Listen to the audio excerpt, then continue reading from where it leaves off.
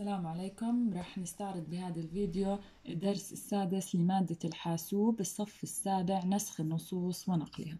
تعرفنا في الدروس السابقة يا سابع على كيفية فتح برنامج معالج النصوص وإنشاء مستند جديد والطباعة داخل هذا المستند.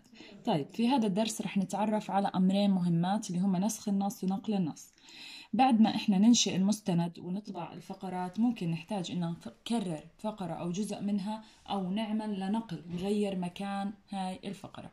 فرح نتعرف أول إشي على نسخ النص يعني بقاء النص الأصلي في مكانه مع وضع نسخة منه في مكان آخر في المستند نفسه أو في مستند آخر. نقل النص يعني حذفه من موقعه الأصلي ثم وضعه في مكان آخر في المستند أو في مستند آخر. بمعنى يا سابع إن هون الفرق ما بين النسخ والنقل. النسخ بيعمل لي نسختين يعني تكرر الفقرة مرتين لكن النقل بغير مكان الفقرة داخل المستند أو ممكن النسخ أنسخ من مستند لمستند آخر. طيب نبلش نطبق عملي كيفية النسخ أو خطوات النسخ.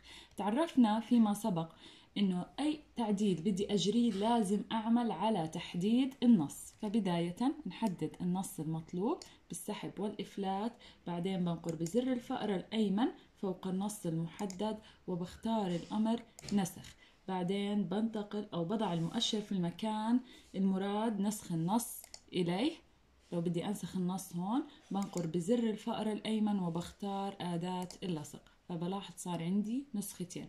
هاي عملية النسخ. طيب عملية اللصق لازم أحدد النص المطلوب.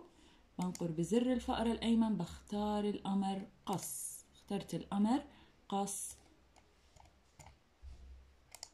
بنتقل بمؤشر الفأرة في المكان المراد. نقل النص إليه بنقر بزر الفأرة الأيمن واختار الأمر لصق أو أداة لصق. بتمنى منكم أنكم تطبقوا الدرس عملي على أجهزتكم.